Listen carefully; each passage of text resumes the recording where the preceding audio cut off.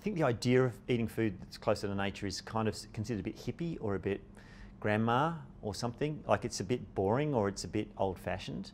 I think lots of these messages are couched in this term, oh, it's really good for you, and it sounds a bit dull, but I want to, I like to approach it from the point of view that, you know, when, when you're eating beautiful, fresh, delicious, seasonal produce, you know, it, it, makes every meal better. It makes you a better cook and it makes cooking easier. So what I'm, I aim at is to say, well, this isn't just about your health. Um, it isn't just about the environment. This is about joy and the pleasure that you get from eating and sharing food with other people, but you're doing yourself good at the same time. It's win, win, win.